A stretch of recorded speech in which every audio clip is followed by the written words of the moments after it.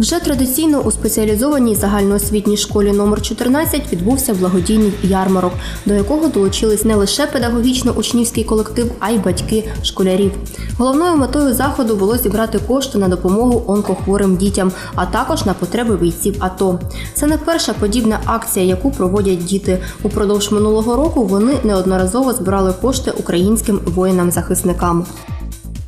В нашій школі навчається 530 дітей. Дітки навчаються, які хворі на сколіотичну хворобу. Тому ми не залишаємося байдужими чужого горя. Вже доброю хорошою традицією в нашому закладі стало проведення благодійних ярмарок. Така ярмарка відбулася і в цьому навчальному році. Ми зібрали 24 тисячі гривень для потреб воїнів АТО, а також для діток, які хворі на онкозахворювання. Це дуже гарна, добра традиція. Ми намагаємося залучати наших дітей до благодійності, допомагати іншим, тому що тільки разом спільно ми можемо перемогти і ворога, який загрожує нашій державі, а також надавати посильну нашу допомогу людям, які потребують на сьогоднішній час. Е, Що це була за благодійна ярмарка? Значить, благодійна ярмарка діти виготовляли різні вироби, пекли разом спільно з батьками солодощі, е, продавали їх і для жителів мікрорайону, і для працівників школи.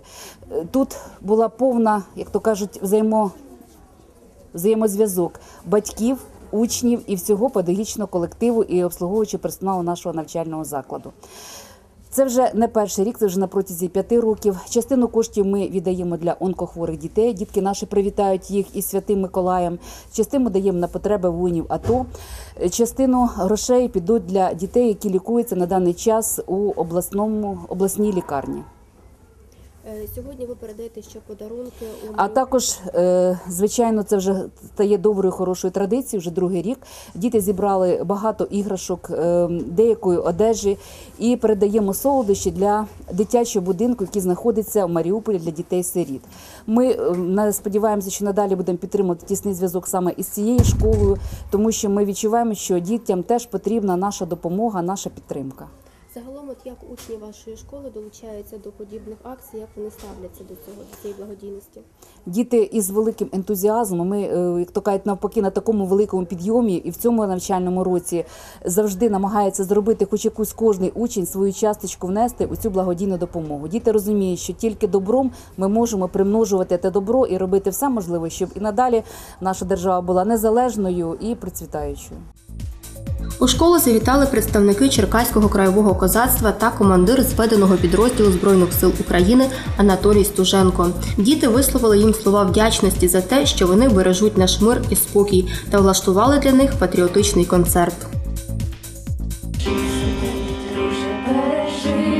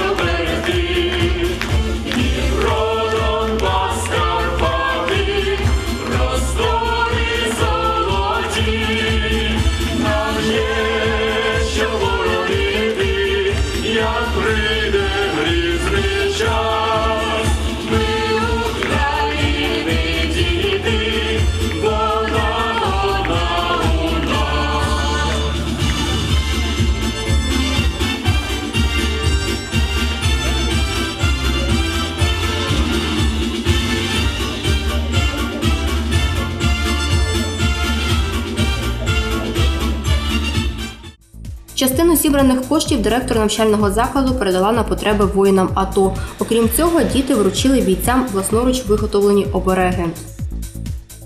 Дорогі солдати, ми знаємо, що, мабуть, ми вже багато чули слів вдячності, але все одно наша школа і всі наші учні і педагоги щиро кажуть вам спасибі за все те, що ви робите і для нас, і для нашої країни.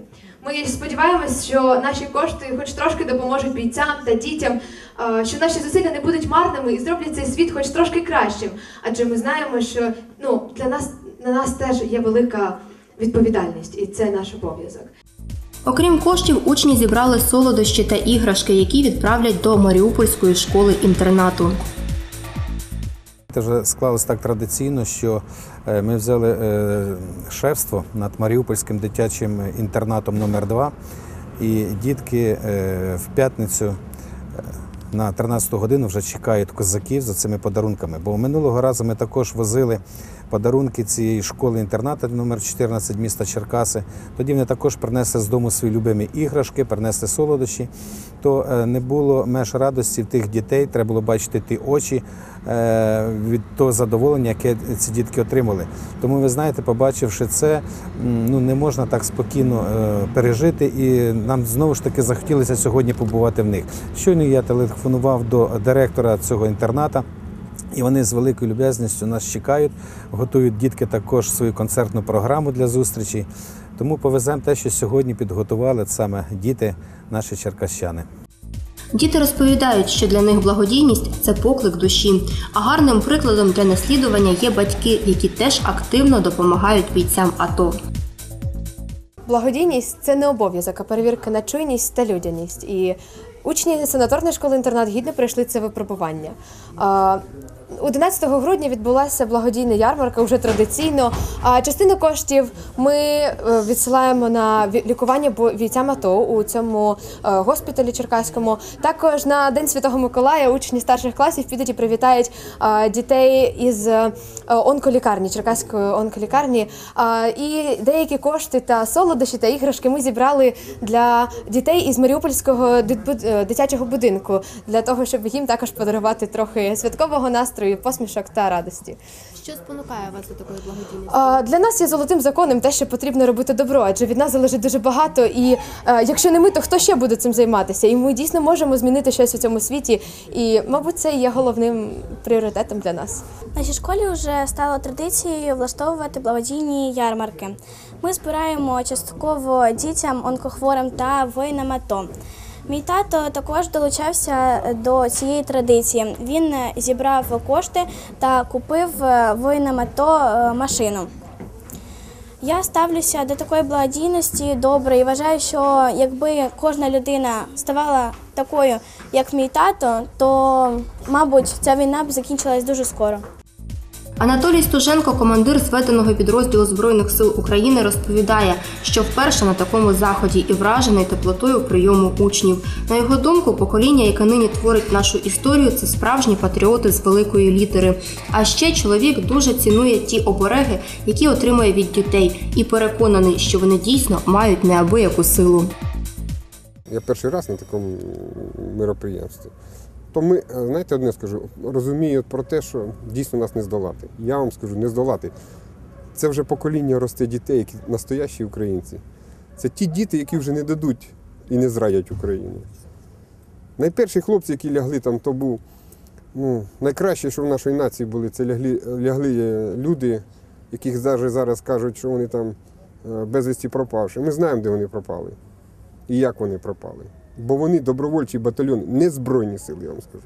А добровольчі батальйони в перші дні практично стримали е, ту агресію, яка була зі сторони російської армії. Потім підтягнули е, Збройні Сили України. Але я скажу, що і та Національна гвардія, яка була там в перші ряди, це майданівці там були, це хлопці, які там полягли, не вміючи. Там же ж більшість людей і не служило в армії. Але сила, воля, Бажання захищати країну. да, і вона, вона спрацювала, і ми відстояли. Я вам скажу, що е, практично в підрозділі цих оберігів у мене дуже багато. Черкаський автомайдан дуже багато з різних школ привозять. В кожній машині військовій по 2-3 оберіга. В кожній палаці, в кожній землянці по два-три оберіга таких от дитячі. Я сам живу, у мене е, в моєму кунгі ну, штуки 3-4 оберіга різних шкіл, різних там форм ці оберіги. Ми розуміємо, що це сила якась дитяча, вона у нас і захищає ця сила. Дуже багато малюнків. Практично ні один малюнок е, не пропадає. Вони всі розвішені, всі, ну, їх всіх оберігають. Навіть як ми уходимо, в першу чергу ми стараємося забрати це, ми не кидаємо. Бо розуміємо, що це ну, маленькі ручки це робили для нас. Тому для нас це дуже важливо. Давайте творити добро разом, не залишатися осторонь тих проблем, які існують в державі. Лише об'єднавшись та допомагаючи один одному, ми наблизимо довгоочікуваний мир та спокій в Україні.